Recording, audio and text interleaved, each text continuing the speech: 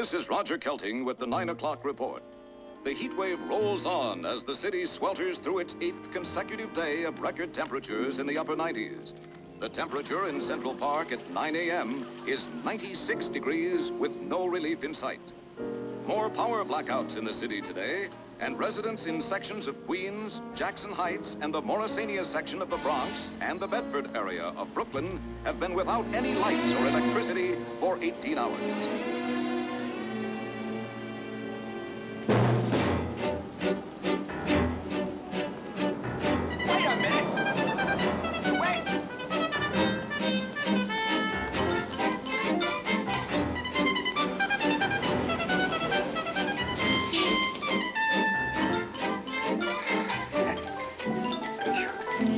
Exact change only.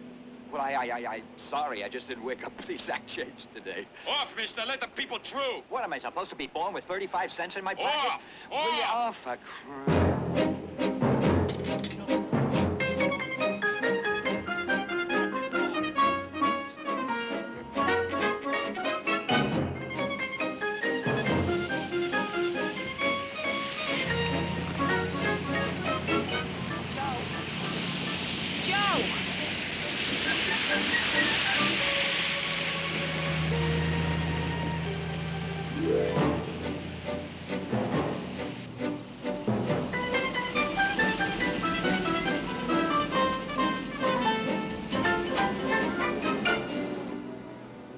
47th Madison. Huh? 40, 47th and Madison. Got any air conditioning up there? What? Air conditioning. Yeah, it's on. Isn't it great? It's great up there. Back here, it's a coffin.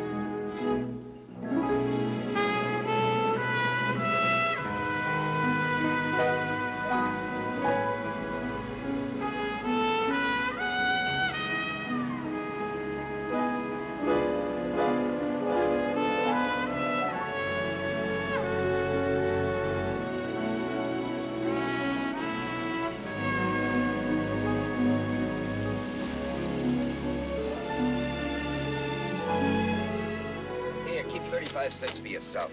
Hey, what? Keep 35 cents for yourself.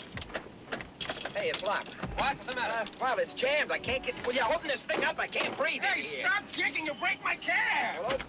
Hey, You know something? You're a very nervous fellow with the kicking and the banging. I see you again. I ain't picking you up. I don't like nervous people. They make me nervous.